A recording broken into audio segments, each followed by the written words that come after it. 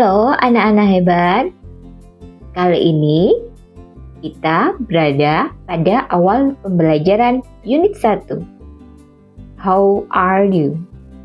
Hari ini kita akan belajar tentang kalimat sapaan atau greetings.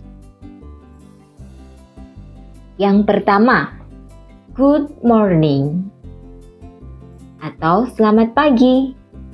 Good morning digunakan untuk menyapa seseorang yang kita temui pada pagi hari. Coba ikuti contoh berikut ya. Good morning, Made. Good morning, Cici. Good morning, Aisyah. Good morning, Cici. Nah, coba sekarang kalian ucapkan kata good morning kepada teman sebelahmu. Dua, good afternoon.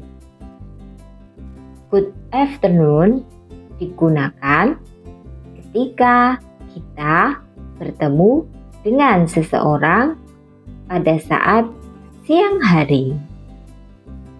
Ikuti contoh berikut ya. Good afternoon Cici. Good afternoon Aisyah. Coba bersama-sama kita ucapkan good afternoon. Ketiga, good evening.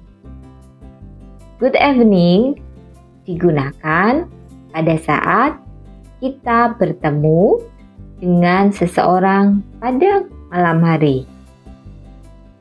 Ikuti contoh berikut ya.